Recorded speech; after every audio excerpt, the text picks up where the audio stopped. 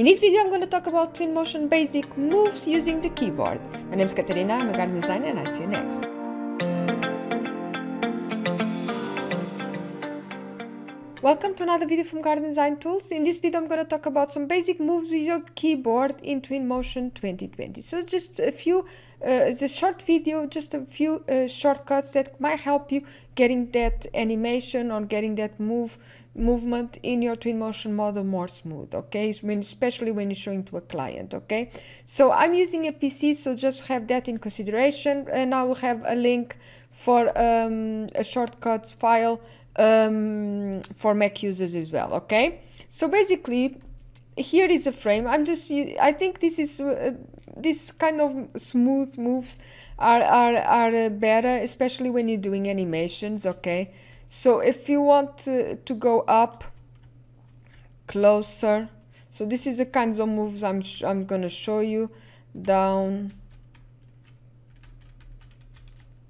and further away okay?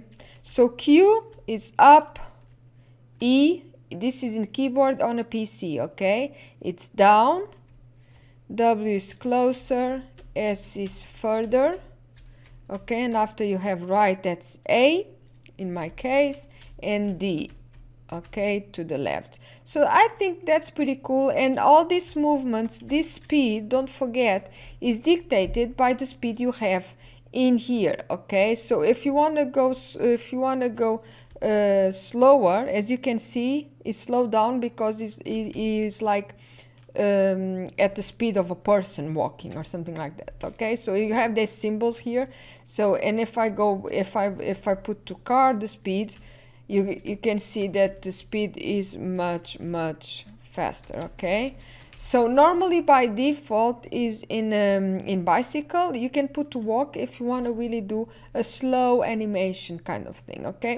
So Q W E A S D in your keyboard. That six keys over there are amazing for having a real animation okay?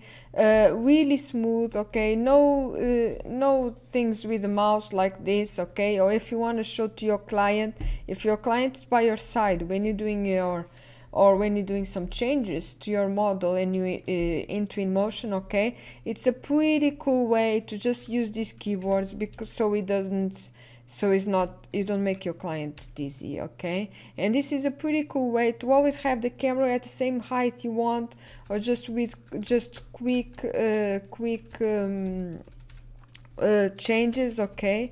But as you can see it's pretty pretty smooth. So just this uh, video for today is just this. Use the keyboard shortcuts. They have amazing other shortcuts. These ones are the basic moves for your twinmotion 2020 models okay See you in the next video guys. Bye bye.